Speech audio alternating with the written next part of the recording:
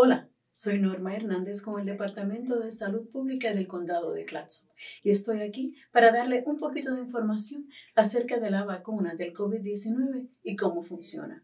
Muchas personas nos han enviado una serie de preguntas y estoy aquí, voy a leer las preguntas para darle su contestación. ¿Se desarrolló o fabricó la vacuna contra el coronavirus usando células fetales cosechadas durante los abortos? No. Eso es, no. Ni las vacunas Moderna ni la de Pfizer utilizaron células fetales en ninguna parte del desarrollo de esta vacuna.